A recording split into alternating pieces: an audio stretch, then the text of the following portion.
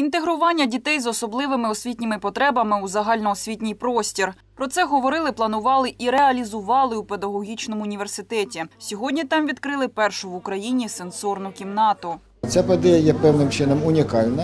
Е, В чому її унікальність? Е, Справа в тому, що такі заклади, такі сенсорні кімнати, вони в принципі останнім часом вони користуються таким попитом, і вони в Україні і у нас в місті відкриваються. Е, Їх, їх вже є декілька, але вони в основному відкриваються або на базі якихось центрів спеціальних, або на базі спеціальних соціальних закладів, є на базі шкіл. А сьогодні ми відкриваємо кімнату на базі вищого закладу освіти. Подія реалізована в межах проекту підтримка інклюзивної освіти в місті Кривий Ріг, ініційованого вишом за підтримки німецької компанії. В даному проєкті з підтримки інклюзивної освіти задіяно кілька компонентів компанії GIZ.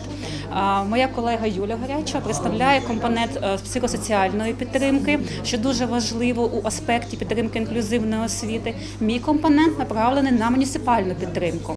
Сенсорну кімнату створено як навчально-методичну базу для підготовки фахівців інклюзивної освіти, а також для дітей з особливими освітніми потребами, які потребують психосоціальної та фізичної реабілітації. Унікальна кімната базується на світловому обладнанні. Тут і світловий дощ, і колона з рибами, сухий басейн та сенсорне пісочне поле. Якщо говорити про сухий басейн кольоровий, то він працює з тактильними пропріоцептивними відчуттями для дитини. Світовий дощ він розвантажує. Він дає змогу дитині зняти напругу з цього тіла, якщо було перевантаження під час навчання. Пісочне поле, світлове пісочне поле, воно базується на зорових і тактильних відчуттях.